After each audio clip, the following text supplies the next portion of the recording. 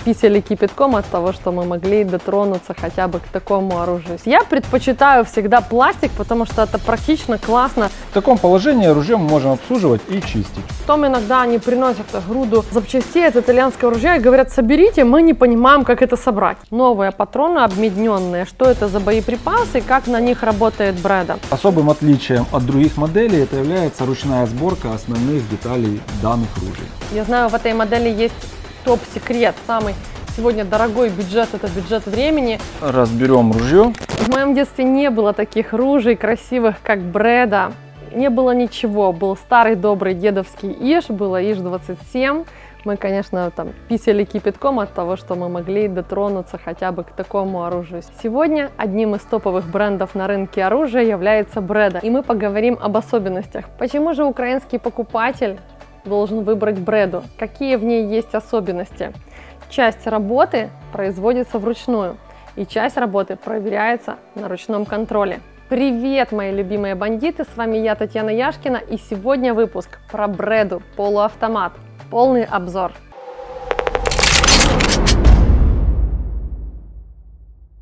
Наша любимица, нашумевшая Бреда. Только подарили мы Бреда Титана, а это Бреда Астра. Совсем недавно мы вручили выигранное ружье Орлу Анатолию. И много пошло запросов от вас, что вы хотите посмотреть, как это устроено оружие, как оно работает, его фишки, функциональные особенности. И вот сегодня как раз такой выпуск, где мы все подробненько разберем. В этом нам поможет топ-эксперт в сфере оружия, специалист в отношении бреды. Бреды и линейки итальянских полуавтоматов. Здравствуйте, Ярослав. Добрый день.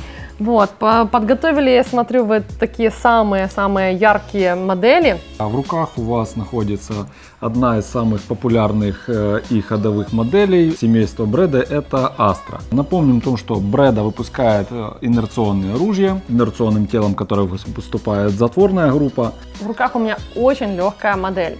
Мне хочется разобраться, как же она устроена внутри, в чем тут такая фишка, потому что вес ее где-то порядка 3 килограмм. Да, у нее не превышает 3,2 килограмма данная модель. Легкость здесь придает э, легкосплавная арголевая коробка. Давайте же рассмотрим более поближе. Данная модель э, производится в двух э, вариантах. Э, в дереве приклад и ложе выполнено из э, ореха с маслянистой пропиткой. И в э, варианте синтетик где у нее идет пластиковая ложа и приклад э, с покрытием Soft Touch. Модели отличаются длиной стволов и э, планками прицельными. Также есть отличия по затворным группам, цветовой гамме, либо в черном исполнении, либо в хромированном. Ну я смотрю, что эта закрутка такая маленькая, аккуратная, а здесь напротив уже закрутка массивная, большая, объемистая и цевье вроде бы как помассивней. Здесь более аккуратное цевье. В данной модели есть возможность э, установки удлинителя магазина. Угу. Вопрос для подписчика. Скажи, какое ты предпочитаешь оружие? Пластиковое или деревянная ложа? Вот мне интересно реально из всех вас, мои постоянные зрители, кого больше, владельцев с пластиковым ложе, прикладом или с деревянным? Кто победит, интересно. Если у тебя деревянная ложа, пиши в комментариях слово дерево. Если пластиковая ложа, пиши слово пластик. А мы посмотрим, где идет перевес. Я предпочитаю всегда пластик, потому что это практично, классно. Ну, это реально, ну, стильно, что ли. Мне всегда больше нравилось дерево. Стволы изготавливаются методом э, глубокого сверления, внутри покрытые хромом. Так, запирание затвора происходит за счет поворотной личины. Если мы разберем ружье. Так. Разборка производится за счет э, снятия фиксирующей гайки. Вынимаем флажок взведения затвора и достаем инерционное тело, которое выполняет затвор. В таком положении ружье мы можем обслуживать и чистить. Это такой достаточно тоже спорный и тонкий вопрос, потому что э, ребята есть настолько подетально любят разбирать, это прямо целое искусство, что потом иногда они приносят груду запчастей от итальянского ружья и говорят, соберите, мы не понимаем, как это собрать. Если вы не знаете, не вдаетесь в такие подробности, и в этом нет на самом деле необходимости. Вот основные части, которые вам необходимы для того, чтобы почистить вашу красавицу, вот, Бреду, либо любое другое популярное европейское оружие. Мы сегодня говорим про семейство Бреды. Вот Ярослав показывает, как можно на более такие Да, вот части для- основные для Для более Чистки. детальной чистки можно Да. выда- выбить два пина, достать затворную группу. Э, Если есть необходимость э, обслуживания возвратной пружины, есть необходимость снимать приклад. Отлично. Если вы не любите это делать, и абсолютно у вас для этого нет времени, потому что самый сегодня дорогой бюджет – это бюджет времени, привозите свои игрушки, оставляйте их у ребят, и они проведут качественный детокс-диагностику, ваши любимцы будут начищены, вы заберете их в идеальнейшем состоянии, а для тех ребят, кто любит все-таки проводить с ними такие профилактические занятия, всегда используйте качественный продукт и качественную химию. Сборка ружья производится в обратном порядке. По салазкам возвращаем назад затвор, вставляем флажок взведения и цевье вместе с стволом надеваем на его посадочное место. Так. Все, фиксируем все это гайкой. Все, у нас трещоточка. Так, вставляем.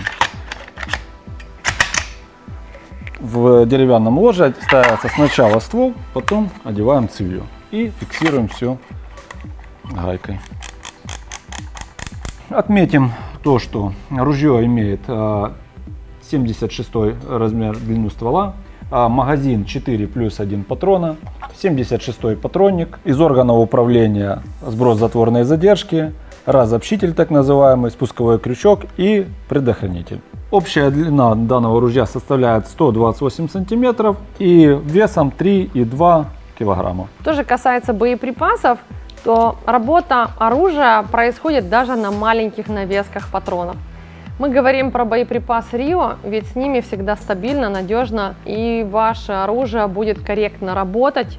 Всегда осыпь дроби будет ровная, плавная, и никаких не будет натыканий, затыканий того, что может произойти у вас самозарядными патронами. 32 навеска, наверное, самая оптимальная, 32 30 для работы с полуавтоматом. Но для тех, кто любит стрелять подальше и помощнее, есть Magnum и Magnum, тоже всегда в наличии. Э, Я знаю, что есть патроны с увеличенной юбкой, с увеличенной скоростью, новые патроны обмедненные. Что это за боеприпасы и как на них работает Бреда? Бреда с данными боеприпасами будет отлично справляться и перезаряжать, так как навеска там используется 36, 36 грамм, дробовые патроны там контейнерные идут. Начальная скорость порядка 428 метров, то отлично подойдет для охоты, ну и для развлекательной стрельбы. Бреда B12i э, 12 калибре, 61 ствол, э, вес ее не превышает 3 килограмм, Э, длина общая метр пятнадцать. Я вижу, что на оружии уже установленные кольца. Комплектуется данное оружие уже с антапками, идет э, в комплекте кейс, набор дульных сужений и проставок для смены угла приклада.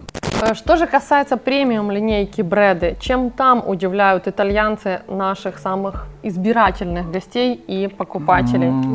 Мы можем рассмотреть Бреда Титана и Бреда Титана L. Две очень похожих модели. Отличие у них в том, что Бреда Титана коробка ствольная выполнена из а, нодированного эрголя материала. Титана L нанесена гравировка вот, в виде с э, птиц и неба Я ну, так понимаю, что это краской. золото. Не, это керамическая краска. Вот. а Также а, у, него, у них люксовое дерево идет с масляной пропиткой. Особым отличием от других моделей это является ручная сборка основных деталей данных ружей. В Украине данное ружье считается универсальным и используется как и охотниками, так и спортсменами. Комплектуется оно в кейсе с э, съемными антапками, сменными дульными сужениями и проставками для изменения э, угла приклада. Окей, хорошо, есть премиум линейка. А что просто по охоте?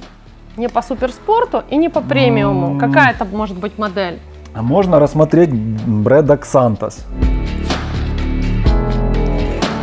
Бреду Ксантос я бы характеризовал как отличное ружье, а, заточенное именно под охоту. Лично на мой взгляд. Я знаю, в этой модели есть топ-секрет. Вот он скрывается где-то в зоне коробки. Особенность ее. Данная модель отличается тем, что э, ствольная коробка у нее цельнометаллическая.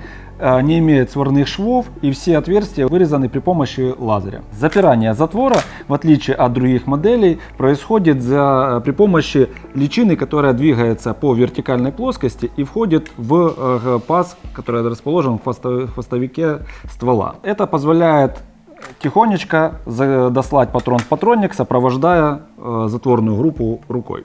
Еще одной фишкой дан, данной модели э, является то, что при каждом взведении э, затворная группа становится на затворную задержку. Тем самым мы можем дослать либо патрон в патронник непосредственно, либо при помощи пальца и выемки в лотке надавить на донце гильзы и дослать патрон уже непосредственно с магазина.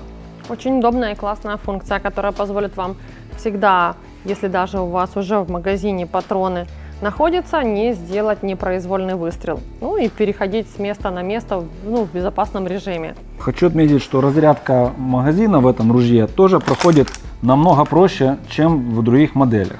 А, здесь необходимо просто а, выжимать лапку и разряжать по одному патрону. Нет необходимости прогонять патрон по всему циклу а, и выбрасывать его через отверстия патронника. Стволы э, изготовлены методом глубокого сверления, внутри хромированные. Э, вес этого ружья 3,2 килограмма, общая длина 135 сантиметров. Вы ждали, что же будет сегодня главным призом. Рассказываю и показываю. Ты можешь выиграть перчатки Remington, если подпишешься на наши социальные странички. Напишешь под этим видео, что тебе больше всего понравилось, оставишь свой комментарий, только честно, правда? Вот, а мы рандомным способом выберем победителя, и через две недели, возможно, эти перчатки, которые в моих руках, станут именно твоими. Всем спасибо за просмотр, с вами была я, ваша Яша. Оставляйте лайк, оставляйте комментарии и будьте на стиле.